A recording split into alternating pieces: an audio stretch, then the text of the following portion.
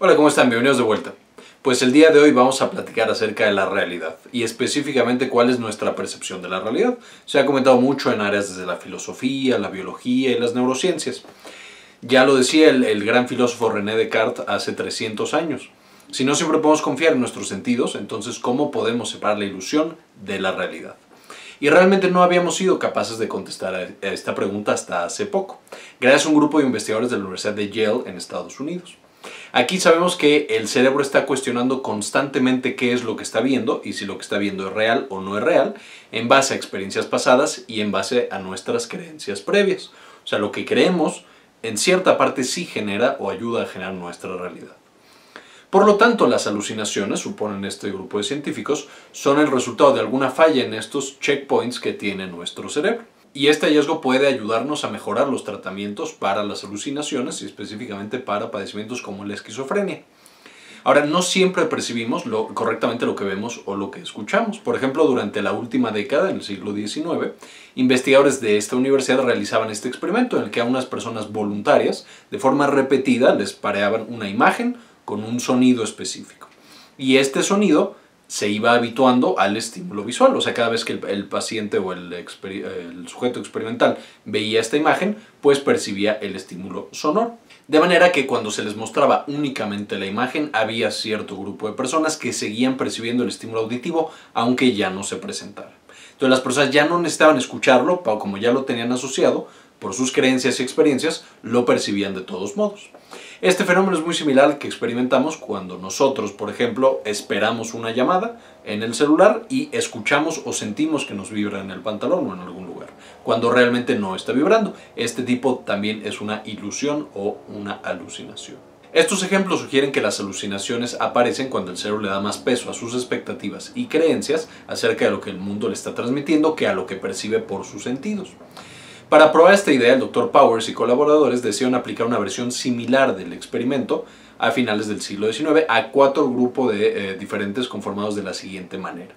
El primer grupo estaban personas completamente sanas y, entre comillas, normales. El segundo eran personas con psicosis. El tercero eran personas con esquizofrenia. Y el cuarto, personas que se autodenominaban psíquicas. Es decir, que escuchaban voces con regularidad, pero no les resultaban molestas. Y vivían con ellas y de hecho vivían a veces de estas voces. Los investigadores entrenaron a los cuatro grupos de personas para asociar una imagen de un tablero de ajedrez con un sonido de 1 kHz y un segundo de duración. Posteriormente se les pidió a los participantes que presionaran un botón cada vez que se les mostrara la imagen del tablero de ajedrez y escucharan al mismo tiempo el sonido que habían estado escuchando durante su entrenamiento. También se les pidió que para demostrar qué tan seguros estaban de haber escuchado el sonido, al mismo tiempo que aparecía la imagen, la fuerza con la que veían presionar el botón debía ser directamente proporcional a su seguridad.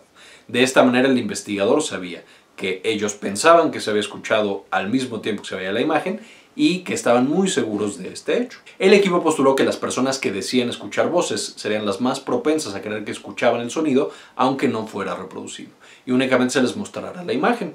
Y efectivamente esto fue lo que sucedió.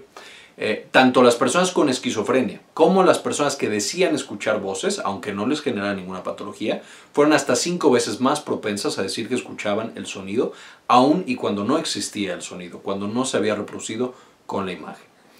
En comparación esto con las personas sanas, que estamos asumiendo confían mucho más en sus sentidos que en sus percepciones internas y en sus creencias. Estos dos grupos de pacientes mostraban además actividad neuronal anormal en regiones del cerebro encargadas de monitorear las representaciones internas de la realidad, principalmente en la corteza. Los pacientes con las alucinaciones más severas mostraban una menor actividad en el cerebelo, por ejemplo. Recordemos que el cerebelo juega un papel muy importante en la planeación y coordinación de futuros movimientos. Este proceso requiere un monitoreo constante de nuestro alrededor, entonces podríamos suponer que el cerebelo trabaja menos en estos pacientes y hace que sea más fácil que tengan este tipo de alucinaciones. Estos hallazgos confirman que cuando se trata de cómo percibimos el mundo, nuestras ideas, creencias y expectativas realmente pueden sobreponerse a nuestros sentidos y hasta cierto punto moldear nuestra realidad. Este estudio nos plantea un nuevo escenario de cómo es que nuestro sistema nervioso percibe el medio externo y filtra esta percepción que tiene para dar un resultado final. Y esto genera también más preguntas. ¿Qué papel realmente juega el cerebelo, por ejemplo, en la percepción de la realidad y también en las alucinaciones o las enfermedades psiquiátricas como la esquizofrenia? Y tal vez, si es que participa de manera importante, será que podemos modular o controlar estas enfermedades a través de la manipulación del cerebelo, pues el tiempo lo dirá. Espero les haya gustado mucho esta noticia. Le agradezco mucho a todo el, equipo de Patreon que nos apoya para hacer más y mejores videos. Si tú también quieres apoyarnos, puedes suscribirte a través de Patreon y apoyarnos en los videos. Y como siempre, ayúdenos a cambiar el mundo, compartan la información.